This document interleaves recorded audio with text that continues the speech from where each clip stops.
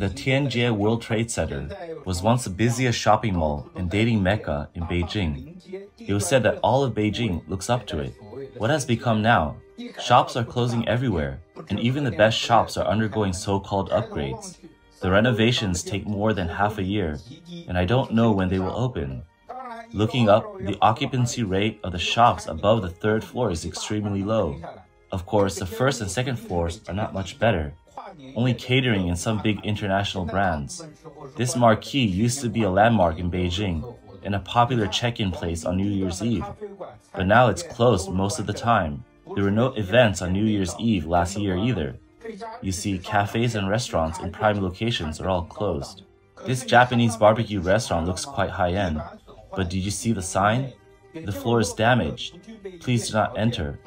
That is to say, it does not meet the conditions for business at all, and I don't know how long it has been closed.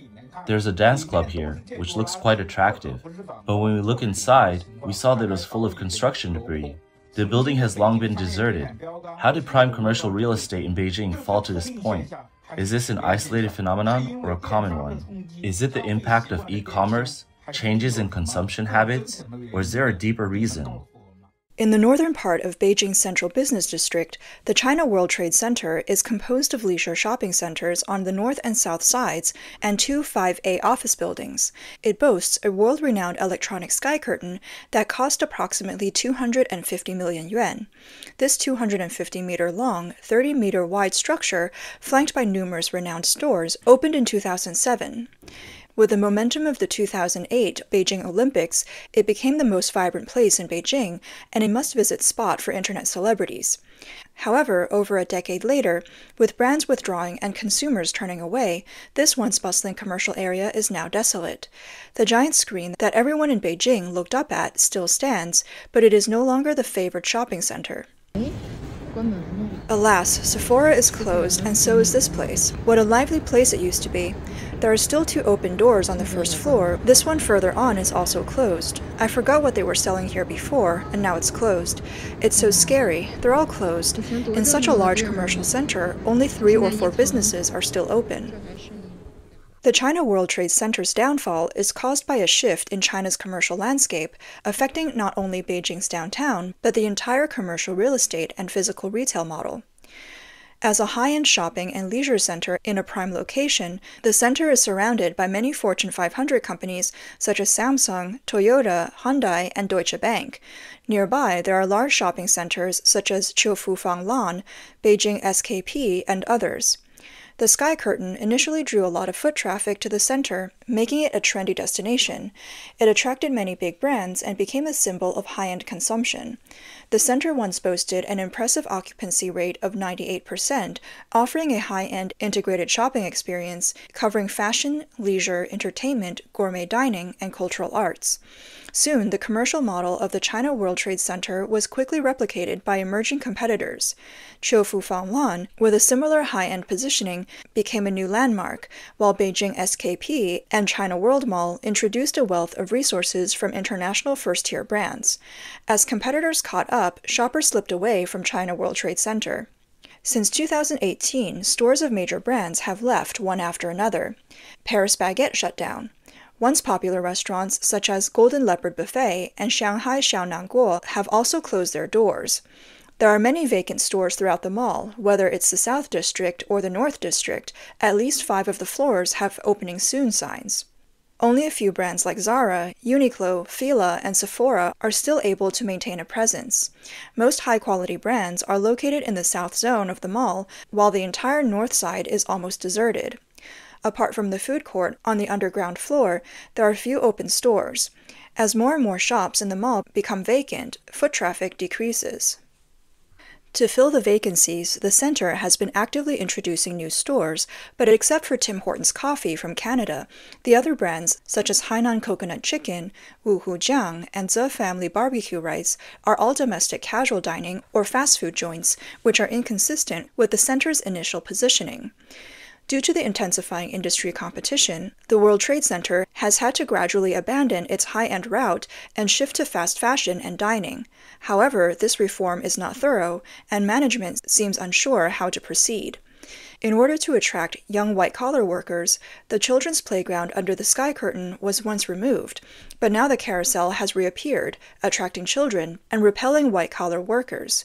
According to a customer at the World Trade Center, in recent years, every visit to the lower level has seen a change. The once iconic sky curtain has now become a cheap advertising message, with children's play projects filling the area, and in the evenings, it's mostly elderly people taking grandchildren out for a walk. Office workers nearby blamed the outdated format of the center and the fact that there are many shopping centers nearby. For example, Chaofu Fang Lan, Taikoo Li San Li Tun, and China World Mall all divert customers from the World Trade Center. Furthermore, the mall has not been kept up. Some ceramic tile floors have been damaged due to age, especially in the north zone, and the lighting is very dim. Both the mall's layout and interior environment are out of touch. Moreover, the three years of the pandemic have dealt a huge blow to the World Trade Center. Severe lockdown policies have virtually halted sales, causing many brands to operate at a loss.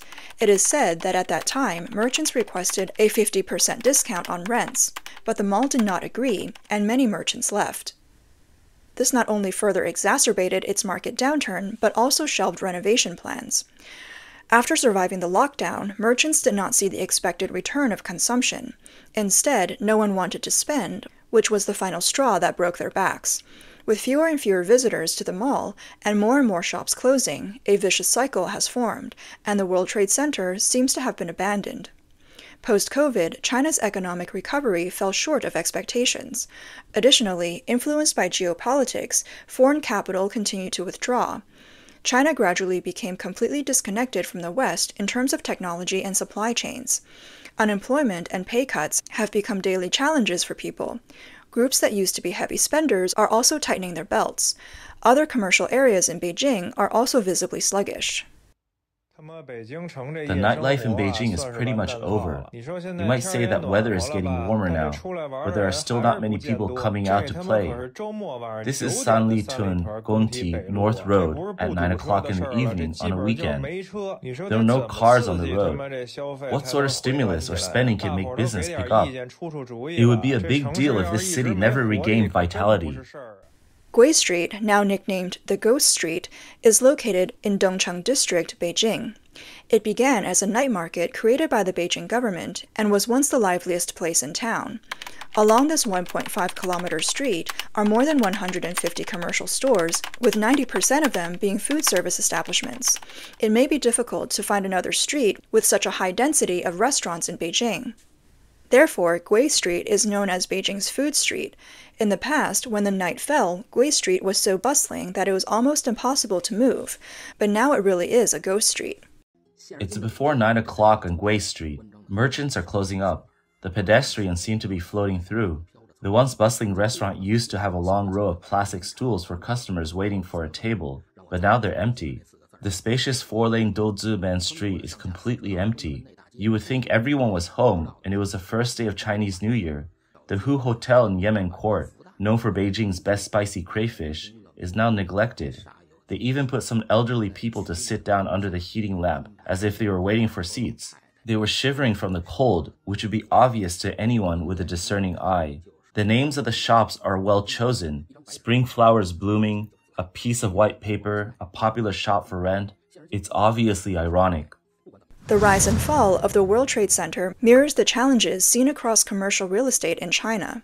Many formerly thriving commercial areas now struggle with high vacancy rates, decreased foot traffic, and increased uniformity. These challenges, stemming from shifts in consumer behavior and the lingering effects of the pandemic era, present a significant obstacle for the entire commercial real estate industry in China. Recently, Wanda Group announced that it would sell off 14 of its plazas. The news caused a stir in the business world. As a leading enterprise in China's commercial real estate sector, Wanda Group's core subsidiary, Wanda Commercial Management Group, once managed 417 commercial plazas. Therefore, Wanda's actions often serve as a barometer for China's commercial real estate.